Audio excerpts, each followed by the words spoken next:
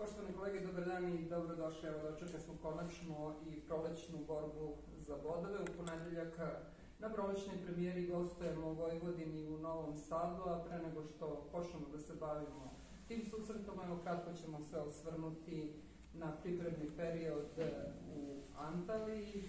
Sa nama danas šef stručnog štaba Ivan Stefanović, pa da čujemo za početak osvrt. Izvolite. Dobar dan, pozdrav svim prisutnima. Posle malo duže pauze, ponovo smo ovde.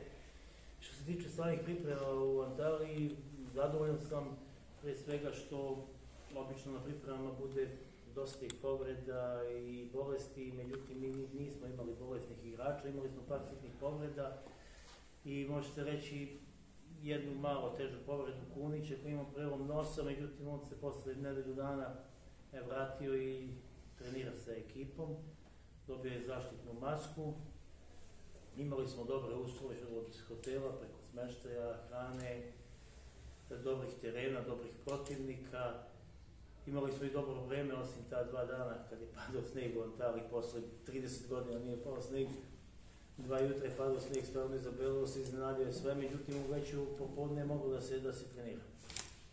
E, ekipa je spremna i fizički, i taktički, moram da ponovim i, i da kažem to da obično na pripremama dođe i do nekog incidenta, malih čarki među igrača, međutim, ono što smo i pričali da napredak i igrači i svi mi u napredku dišemo kao jedna porodica, to se i pokazalo na, na pripremama, jer usled napornih treninga i kad je ekipa dosta dugo na okupu zajedno, dođe do tih čarki, nismo imali ni jednog incidenta, stvarno svakim čas i na tome, bili su pravi profesionalci, reprezentovali naš klub i grad i, i, i zemlju na, na najbolji mogući način i svi ljudi u hotelu su imali samo reči hvala za naše igrače i stručni štab.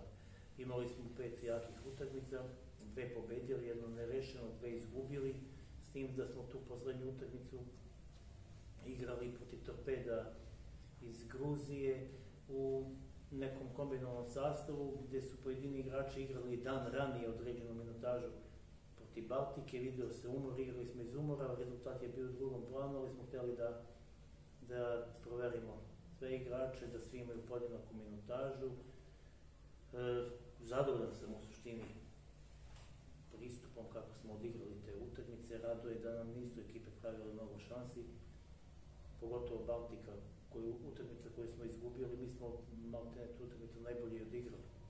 Primali smo gol iz prekida, radili smo tokom ove, ove nedelje završne na tome i sve u svemu sam zadovoljan.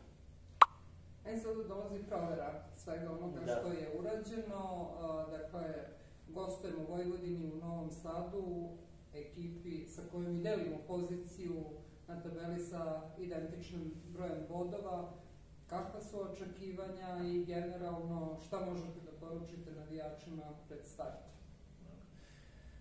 Pa mislim, suvišno je trošiti reči za, za ekipu Vojvodine i, i klub, mislim. Vojvodina dugi niz godina igra zapaženu ulogu u, u našem prvenstvu. Imaju dosta kvalitetan tim koji je dugo na okupu i kompakt, kompaktni su i kao tim i, i dosta mogu da ugroze protivnika pojedinačno. Po meni Vojvodina ima tim za sam vrh tabele, čak što više uz, uz neka, neka pojačanja, mnogo bolje mogu da, da, da ovaj se odluče borbu za, za, za titul. E, mislim da će biti neizvesna utakmica. Što se tiče tabele, mi imamo isti broj boda, međutim tabela zavarava dosta, tri boda, četiri, svi su tu.